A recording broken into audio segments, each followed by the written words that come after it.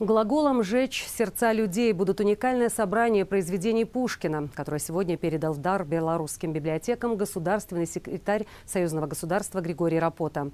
Это одно из многочисленных событий международной выставки в Минске.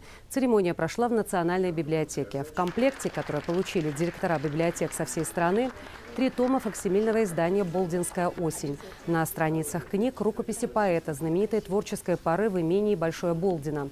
Собрание произведений было издано при поддержке Министерств культуры Беларуси и России.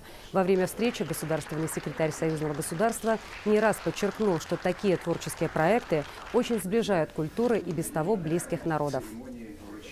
Когда это бывает редко и э, совсем необычно, то это говорит о том, что нет такой э, четко отлаженного взаимодействия вот в этой сфере. А когда это происходит часто и обычно, это уже, это уже э, говорит о качестве культурных и отношений между двумя странами. Поэтому я очень хочу, чтобы это было чаще, чтобы это было более обыденно.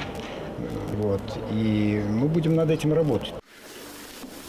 А министр культуры Беларуси сообщил, что в ближайшее время культурную жизнь наших стран ждет много совместных проектов. К примеру, речь идет об открытии в Москве памятника великому белорусскому просветителю Симеону Полоцкому. Много внимания уделяется совместным торжествам к 70-летию победы в Великой Отечественной войне.